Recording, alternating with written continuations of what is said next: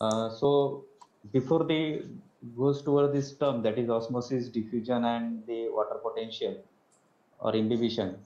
So firstly, we discuss about what is the significance or what is the role of water in plant or what is the physiological importance of water to plant.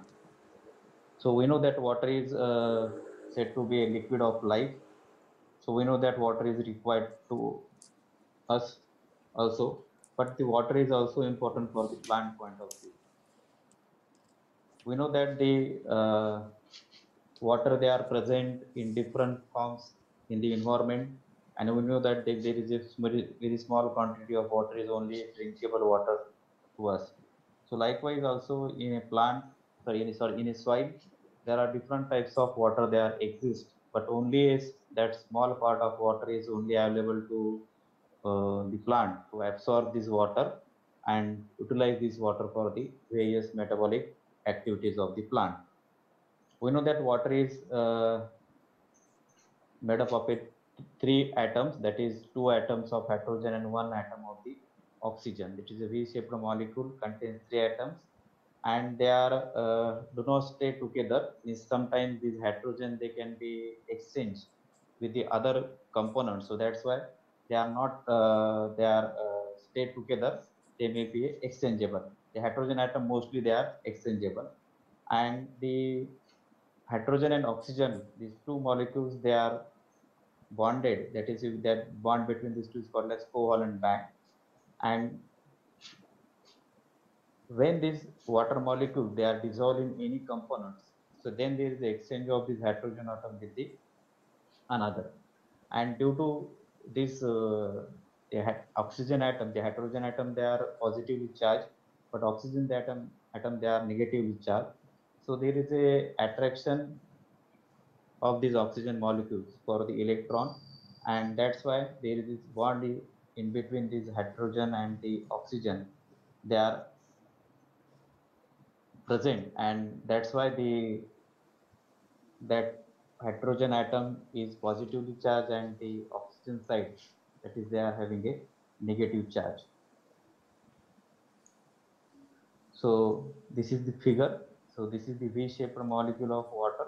This is the angle in between these two covalent bonds that is OH and OH and this attraction of bonding of electrons to the oxygen there creates a local negative and positive partial charges. So this is the positive charge and this one is the negative charge.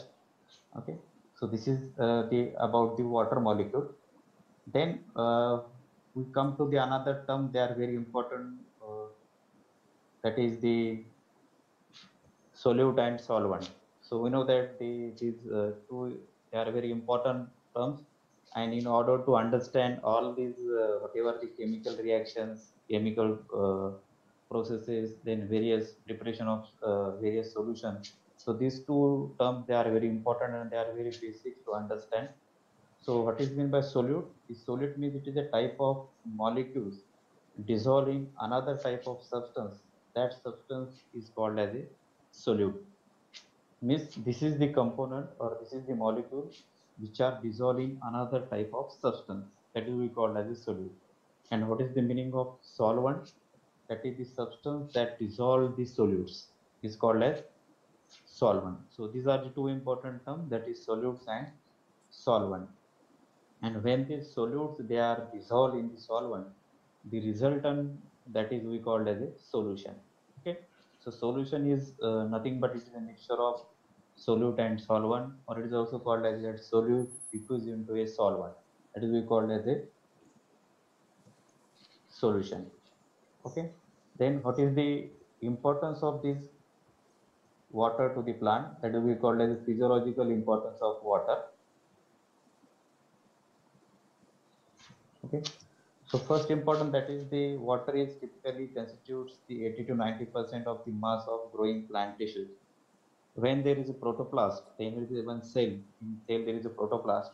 So 80 to 90 percent of the mass they are containing the water. So whatever the content of the cell, the maximum is the water. So oh, this is the first important. That is 80 to 90 percent if there is a presence of water in the cell or in the protoplast then it is very very important for that organisms from which they are made. So that's why the because of presence of 90% of 95% of water in the protoplasm, they are important to the plant. Second, that is water is the main constituent of the protoplasm. They are comprising of 99% of its total weight. And in absence of water, the protoplasm become inactive and sometimes they may be killed due to absence of water in the protoplast. Then next important that is the different types of the organic constituent that is carbohydrate, proteins, nucleic acids and various enzymes. They are the they are very easily dissolved in water and these particular substances they lose their physical and chemical pro properties in the absence of water. So these particularly these uh, chem, uh, substances they lose their properties when there is absence of water. Then water participates directly in many metabolic processes. That is the we know that the photosynthesis, respiration, transpiration, and also they are involved in the that is the depends upon the they are also involved in the various metabolic processes, particularly which involve the direct and indirect involvement of the water. That particularly which involve the hydrolysis and sometimes there is a condensation reaction then water increase the rate of respiration and seed respires fast in the presence of water. So when you can supply the water, the rate of respiration is increases, particularly during the process of seed germination. If this water supply is uh, less, then this respiration rate is hampered. Then water is the source of hydrogen atom for the reduction of carbon dioxide in the reaction of photosynthesis so we know that the uh, hydrogen is the source of uh, reduction of carbon dioxide, means conversion of carbon dioxide into carbohydrates. It is called as reduction. For this reduction required the hydrogen. So this hydrogen is comes out from the water molecule. So these are the importance of that is the water to the plant. Then another importance of uh, this uh, water to the plant. So it maintain the temperature also that is when there is a water uh, is due to transpiration the water is lost. So it helps to maintain the temperature in the vicinity of the plant. Then due to the water which are present in a cell so due to presence of water in a cell it maintains the turgidity some type of uh, that is the turgidity is maintained in the that uh, and due to maintenance of turgidity there is a definite shape to the different parts of the plant. That is leaves stems and etc. So it maintains the turgidity also and it maintains the temperature also. These are also the importance of this importance of water to the plant. Then uh, when there is a that is solution word is comes, so there are two also terms there also comes in existence that is the we call as a when there is a solution then there are two types of solution initially on the basis of the solute dissolved in it that is we called as a highly concentrated solution and low concentrated solution. So high low concentration is depend upon the what is the amount of solute are dissolved in the solutes okay? So high concent high solute concentration means highly concentrated solution. When there is a lot of sugar is dissolved in a relatively small amount of water so then we call as it is a high solute concentration or high concentrated solution. And when we call as a low solute concentration, when a little sugar is dissolved in a relatively high amount of water. This water sol solvent quantity is more, but solute quantity is less. Then it is called as a less concentrated solution. So concentration of the solution is depend upon the how much solutes were added in it or what is the comparison between the solvent and the solute. If solute is more than the solvent, then it is highly concentrated. And when solute is less than the solvent, then it is called as a lower concentrated solution. Then water acts as a solvent and acts as a carrier for many substances. They are, it forms the medium in which the several reactions they are occurs then it also helps in maintaining the turgidity so already we discussed this then water helps in translocation of solutes so there are different types of the solutes they are formed in the plant. That is, for example, the photosynthesis. Uh, when there is a reaction of photosynthesis occurs, this uh,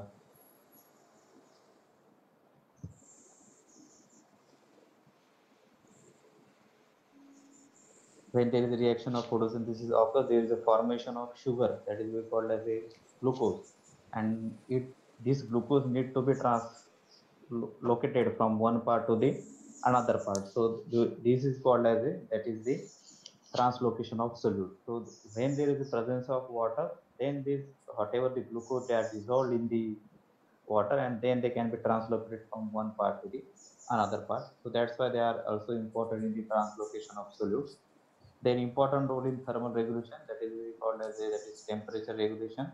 Then in the elongation phase of cell growth they are depends upon the absorption of water. So cell elongation process is also depend upon a, how much concentration of water in the plant. Then this is the dissociation of water means when the water molecule is they are break they are dissociated into hydroxy hydroxide ion and the hydronium ion then when there is a dissociation of water molecule. Then what are the important properties of water? So already we know that, but it is only a, that is the refresh. It is a solvent for electrolyte and non-electrolyte. So it is it's having a high specific heat, high latent heat of vaporization. It also having a cohesive and adhesive property. So these different properties they are very helpful for the absorption of water. So these are the different properties then they are having a high surface tension then high tensile strength then they are stabilize the temperature. So in the process of transpiration they, when there is a water is lost.